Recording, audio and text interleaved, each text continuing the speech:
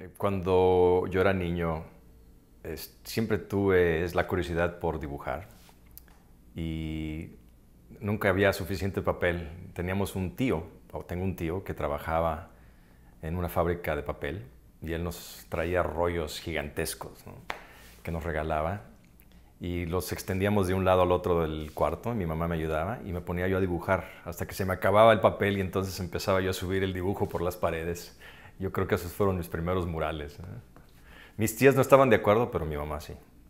Mis padres son los dos arquitectos, mi padre ya murió, pero mi madre sigue activa a sus 73 años y ellos fueron mi primera influencia para ser ilustrador, porque en primer lugar estaba rodeado por tantos libros de arte en la casa y empecé a hacer los primeros dibujos estropeando quizás sus perspectivas que tenían que presentar uh, esos trabajos tan mecánicos que tenían que presentar a sus clientes. Yo les ponía color y les ponía soles y les ponía diferentes personajes alrededor para hacerlos un poco más divertidos. Cuando yo tenía como unos 8 o 9 años, este, tenía muchas dificultades con la lectura y la redacción porque tenía yo cierta dislexia. Y mi mamá llegó a ver a la profesora que le, a preguntarle que, si había algún problema, que qué podía ella hacer, porque estaba preocupada que yo estaba ya quedándome atrás en comparación con el resto de la clase. Y la maestra la volteó a ver y le dijo, no te preocupes, él no va a ser escritor, Rafael va a ser un artista. Y eso fue quizá el primer momento en donde yo sentí que esa iba a ser mi, mi dirección. Pues yo siento que viniendo de México tengo muchas influencias, como el color. Este, México es un país de color en la comida, en, en, los, en, la, en todos, en las paredes, en los edificios, en las vestimentas de la gente. No lo puede uno evitar el color. Otra de mis influencias, obviamente, es la textura de los edificios antiguos de, México. México tiene una historia muy rica arquitectónicamente y obviamente lo, lo tiene en sus paredes. Pero también es esa influencia de los pintores y los grandes muralistas mexicanos como Orozco y, este Diego Rivera y Siqueiros. Ellos me han influenciado mucho en su forma de composición y su forma de representar a sus, a sus personajes en una forma muy heroica. Entonces yo siento que ellos también han sido una influencia en mi trabajo. Eh, vivo en un lugar que se llama, una ciudad muy linda que se llama San Miguel de Allende y ahí es donde compro mis pinturas. Yo bajo la calle, estoy en una colina y a 10 minutos tengo una tiendita que se llama El Pato. En El Pato compro los colores que uso generalmente porque además de ser más baratos son más grandes y más ricos en color, ¿no? tienen mucha saturación y son colores que no puedo encontrar en San Diego, donde también tengo una casa. Ah, así que este es el lugar ideal para encontrar mis colores mexicanos, como el rosa mexicano, la diferencia de los colores es la intensidad del color. Y como había dicho ahorita, un ejemplo es el rosa. El rosa mexicano es un color con, el que siempre ligamos a México culturalmente.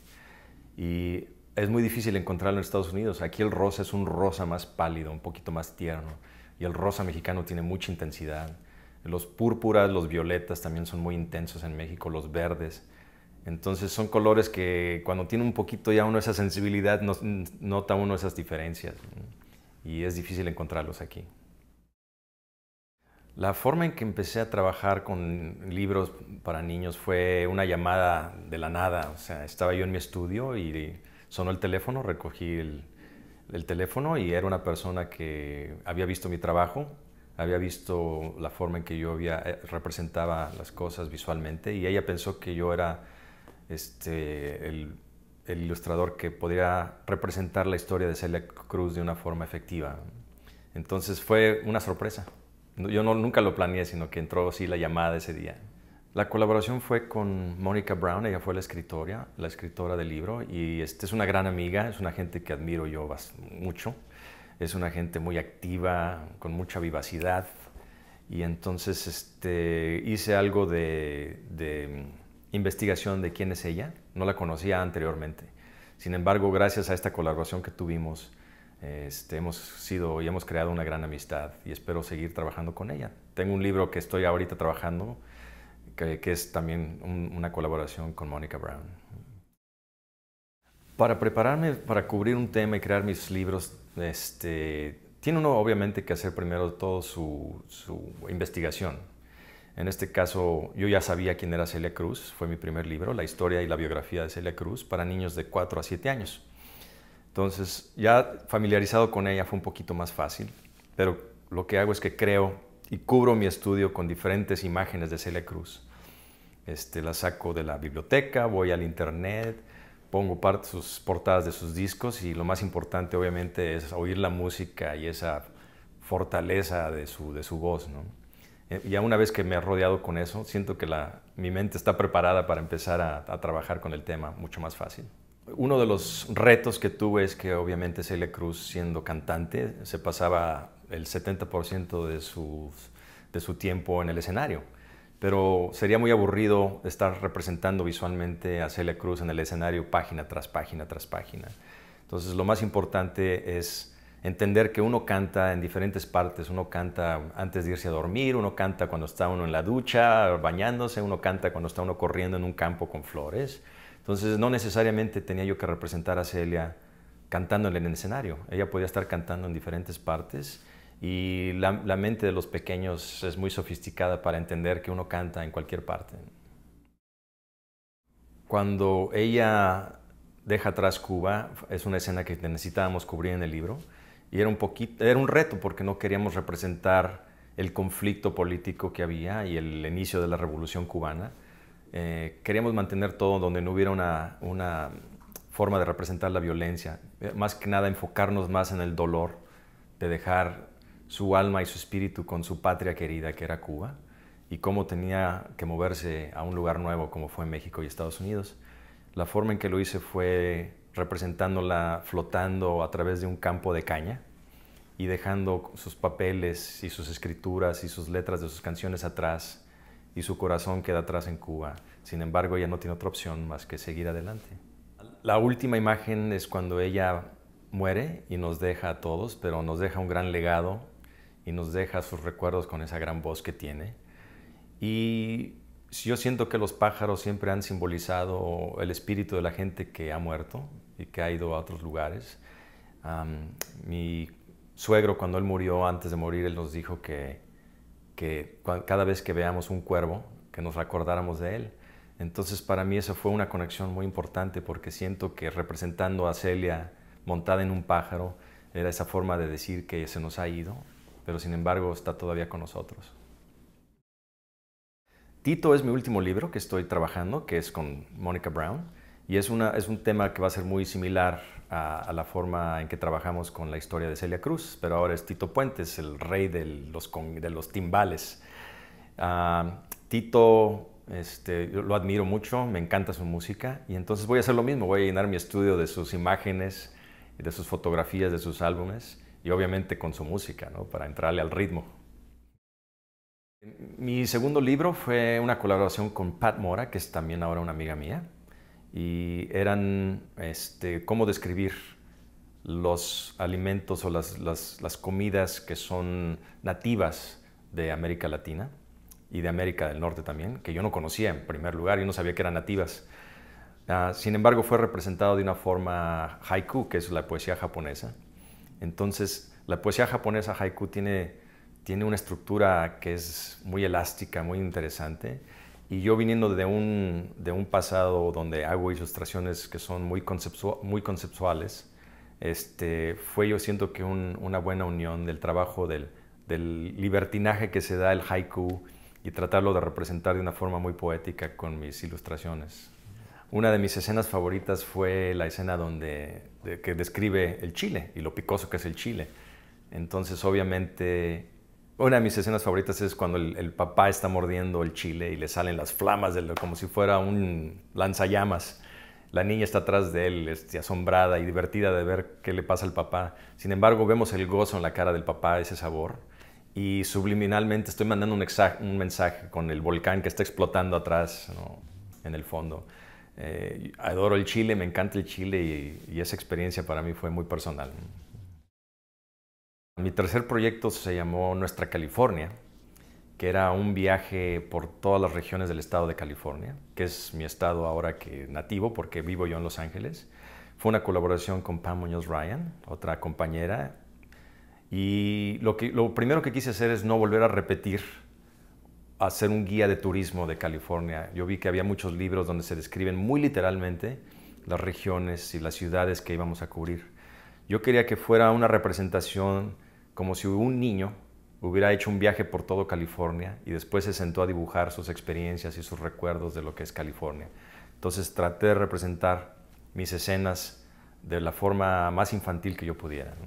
Una de mis escenas favoritas son las islas Channel Islands, que se llaman, y en ella siento que traté de incorporar muchos elementos formativos de lo que yo he aprendido durante mi vida y mi carrera artística, y que son el color, las texturas que puse en el cielo, representan paredes que he visto en San Miguel de Allende, y el personaje principal, que es la ballena, quise crearlo de una forma que no fuera realista, sino como si lo hubiera dibujado un niño de siete años. Entonces es, obviamente una de mis escenas favoritas. En la escena de San Juan Capistrano, que es famoso por el regreso de las golondrinas cada año, también tengo mi otro personaje que es una gran golondrina y otras golondrinas atrás. Sin embargo, no es una golondrina real. Es una golondrina que es creada por la imaginación de un niño, como si le hubiera uno preguntado a un niño, ¿te acuerdas de Capistrano? Dibújame una golondrina. Entonces siempre esa fue la forma en que yo quise este, empezar mis ilustraciones. Los ojos no son como las golondrinas, son ojos humanos. Entonces le quise dar cierta personalidad casi humana a esos pájaros que regresan año tras año al mismo lugar. El último libro por el que estoy recibiendo el Pura Belpré fue una colaboración con Pat Mora y obviamente fue una vez más una cosa muy interesante porque no, había, no tenía que haber ninguna conexión ni congruencia entre las, las, las, visiones. No era una historia sencilla, sino son diferentes escenas de lo que es el goce de leer. Entonces cada, cada representación visual tenía que ser muy diferente y si uno se pone a leer, uno puede leer en cualquier lugar, en cualquier momento y nuestra imaginación nos hace volar. Entonces fue muy divertido representar cosas completamente diferentes unas de las otras y sin embargo seguir teniendo una cierta unidad con el libro. Algo que me gusta también hacer es cambiar el contexto de, los libros. Generalmente un libro se lee de derecha o de izquierda a derecha y uno tiene que pasar las páginas de, derecha a izquierda. Eh, siempre se leen tradicionalmente en una forma horizontal, pero yo pienso que todos leemos en diferentes formas. a veces leemos cosas de arriba para abajo, y mi primera oportunidad fue con Our California, nuestra California, donde tuve que representar Yosemite y la montaña del Capitán, que en realidad tiene uno, la única forma de representarlo es verticalmente, porque es una cosa imponente. ¿no? Y este, lo traté de repetir esto con la última imagen del libro Book Fiesta, donde tenemos a la luna arriba y está este, escuchando la lectura de un pequeñín que está abajo, dándole un mensaje y leyéndole una historia. Y a mucha gente esta es una de sus escenas más favoritas, por el simple hecho de que uno tiene que cambiar la forma en que tiene uno que leer el libro. Mi hijo Santiago tiene 8 años. Este es un gran artista porque él dibuja como si tuviera 17 años. Visualmente es, es este, de veras que algo único. Y él ha sido ahora mi última inspiración, ¿no? porque se la puede dibujar hasta 80 dibujos en un día y se acaba todo un libro completo. Tengo que estar comprándole libros y libros vacíos para que los llene él. Entonces él ha sido mi última inspiración porque él mantiene una frescura de ver la vida que, que, quizás como adulto a uno se le empieza a olvidar. él es el que me refresca esa visión. Otra de las cosas favoritas que me gusta hacer es trabajar con la comunidad y sobre todo con niños en un proyecto, no nada más presentar mi trabajo a los niños, sino que colaboren conmigo. Colaboraciones para mí son muy importantes y una de ellas es hacer murales. Hacemos murales en San Diego, sobre todo en escuelas, y mi participación es nada más crear un diseño, este, trazarlo en la pared, tener algunos asistentes que me ayuden y después organizamos un evento durante un fin de semana donde invitamos a los niños con sus padres, con sus maestros, con sus vecinos y este, ellos son los que se dedican a pintar todo y en un fin de semana tenemos una buena pachanga con comida, tenemos música y sobre todo muchas ganas que les echan los niños. Y es increíble ver esa sensación que tienen de ese orgullo que les crea crear algo de ellos personal porque sienten que van a ser ellos la gente que lo van a cuidar en un futuro. Con mucha lástima yo veo cómo se han cortado los programas de arte en las escuelas, sobre todo en las escuelas públicas ah, debido a la crisis económica que hemos tenido y quizá un poquito la falta de visión de muchos de nuestros líderes. Este, yo veo a mi hijo con esa habilidad que tiene en el arte, sin embargo, con, con mucho déficit y mucha dificultad que tiene con otras partes de, de, de, la vida, como es la escritura o las matemáticas o la cosa de los negocios o, lo que, o como quiero no verlo, pero sin embargo él tiene un interés y una habilidad por la, el arte y la música y estos son programas que están desapareciendo y yo siento que hay muchos niños como mi hijo Santiago que, estamos, que están siendo olvidados. Afortunadamente él tiene el apoyo de, de sus padres, de, de mío y de mi esposa, pero ¿cuántos niños no tienen ese apoyo? Y los necesitan porque el arte no nada más lo, lo está uno educando para ser un artista, sino que el arte lo está uno educando para ser más sensible y más observador de la vida, que eventualmente es lo que nos va a hacer mejores ciudadanos y mejores compañeros en esta humanidad.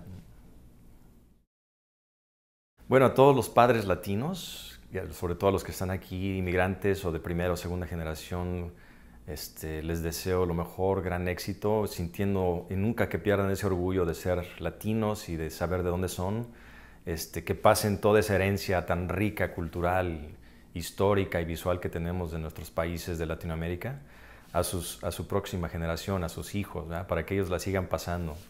Este, que mantengan esa entereza del núcleo familiar, porque eso es importantísimo, sobre todo con la situación del mundo actual ahora. Vemos ese desmoronamiento de la familia y yo siento que es muy importante mantenerla. Y más que nada ese cariño por sus hijos y el amor este, a la lectura y a los libros. Yo lo veo con mi hijo, cuando tenía tres meses ya veía libros y aunque no entendía las palabras, se enamoró de, lo visual y de las imágenes. Así que adelante, ¿no? Esta es una de mis primeras imágenes que hice con mi primer libro de Celia Cruz. Y aquí es donde utilicé un poco de mi experiencia como un artista mm, conceptual, porque la copia dice, abre tus ojos y descubre este nuevo talento que es Celia Cruz. Y obviamente ella fue descubierta literalmente en, en, un teatro, ¿verdad? en algún lugar pero yo siento que era muy aburrido representarla siendo descubierta en un teatro. Yo siento que era más divertido verla cómo sale y la descubrimos saliendo de una jungla tropical de, de Cuba. Esta es una de las escenas donde tuvimos un poquito de reto porque habla de cómo ella tiene que dejar Cuba atrás durante el conflicto y la revolución cubana. Y no queríamos representar nada de una forma eh, violenta por, por, nuestra audiencia, que son niños de 3 a 7 años. Entonces, mi forma de representar esa, ese duro éxodo de ella saliendo de, de, Cuba es ella flotando en un campo de caña. Vemos que las, las flamas significan ese conflicto que hay, y, pero ella deja atrás su corazón y su música y su espíritu se queda atrás con Cuba. Ella nunca olvidó Cuba. Sin embargo, no tiene otra opción más que seguir adelante. Esta es una de las escenas favoritas para mí porque me encanta el sabor del chile. Y, este, esto puede ser yo, puede ser yo porque me encanta y, eso es lo que se siente literalmente cuando uno come el chile, ¿no? Le salen uno llamas de la boca. Y aquí vemos a la hija también este, divertidísima, viendo al papá sufriendo, ¿no? Pero también tengo esa representación del fuego atrás con el, con el volcán. Eh, esta es una de las imágenes favoritas de este libro, que es nuestro California, donde lo que yo quería dejar como un recordatorio es una impresión de cómo un pequeño, un niño, hubiera, se hubiera acordado de un viaje por el estado de California. Entonces quise dibujarlo como si hubiera sido un niño dibujándolo, ¿no? con el carácter principal hecho de una forma primitiva, de una forma infantil, sin embargo capturando el carácter y el espíritu de lo que fue para esta persona, este niño, quizá un viaje inolvidable. Esta fue una de las últimas imágenes de mi libro Book Fiesta, y me gusta porque se lee de arriba hacia abajo, ¿no? que es una forma vertical que lo traté este formato con mi primer libro que fue con Art California, cuando hicimos la imagen de Yosemite. Y me gusta porque no necesariamente uno tiene que leer de izquierda a derecha, sino que también uno puede leer de arriba para abajo y los chicos pueden leer de cualquier forma, ¿no? ellos pueden leerle hasta uno hasta la mente. ¿no? Así que este, fue muy divertido, a los papás les gusta mucho esta forma de poder cambiar el formato de cómo leo un libro.